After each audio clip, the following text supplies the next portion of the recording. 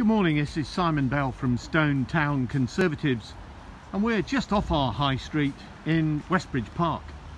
Now a lot of you will know about the changes to M&S parking and the success, the enormous success of M&S and people wanting to shop at Westbridge Park in M&S um, is quite exceptional and having spoken to some of the managers their their figures and their their budgets have been absolutely smashed. So thanks thank you everybody who's helping our high street and visiting M&S as a destination. Now we just um, indicated that there's going to be a change to parking um, and um, I have with me Val from Stone Town Conservatives and Val's just going to explain to some people who might have found it a little bit difficult exactly what is going to happen. Good morning, Val. Good morning. Right, I think this takes place next week.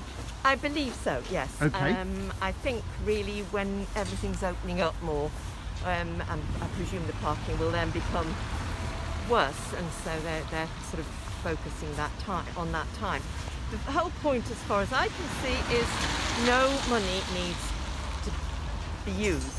You don't have to come and pay for parking you purely have to spend five pounds in the shop at some point in your two hour parking slot. There is also 15 minutes free, so if you just want to dash in and get a butty, you don't even need to do that.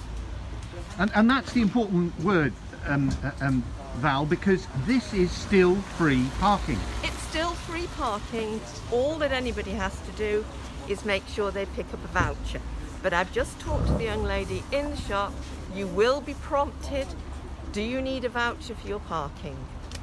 So that that's absolutely brilliant, Val, because if people are prompted, especially maybe some of our elder uh, yep. sort of um, uh, folk, um, just to remind them and say, please don't forget. So they're not trying to make money.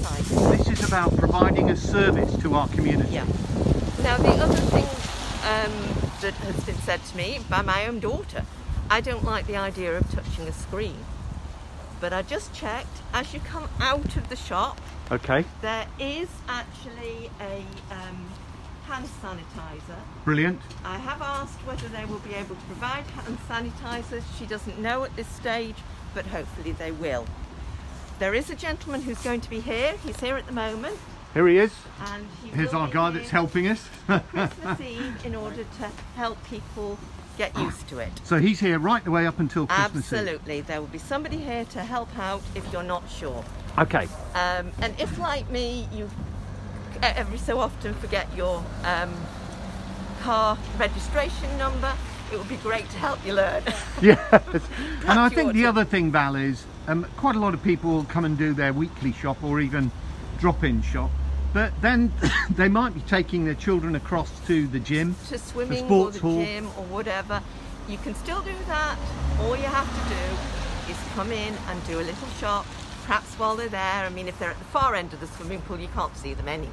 No. You can't okay. sit down in the leisure centre now, so you know, rather than stand up for half an hour watching your children, just come and do your shopping. Absolutely. So instead of some of the negative and the naysayers, yeah actually this is a positive thing Absolutely. for our community in Stone. Yeah. And I can still go and get my prescription or pop to see Nick the butcher.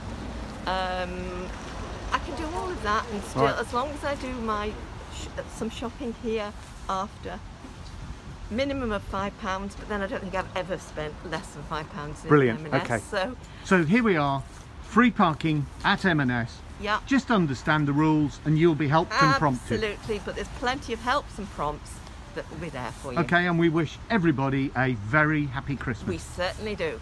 Val, thanks Thank very you. much indeed.